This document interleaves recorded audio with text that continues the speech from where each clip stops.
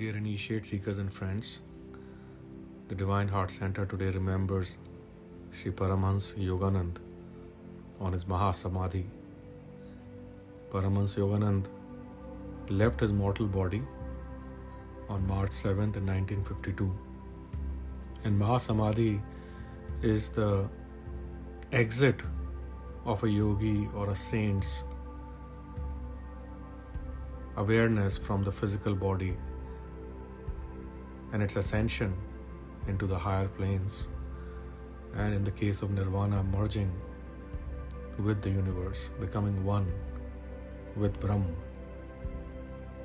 Paramhans Yogananji had a strong influence, has a strong influence on my teachings due to our past life connections with him as our Guru.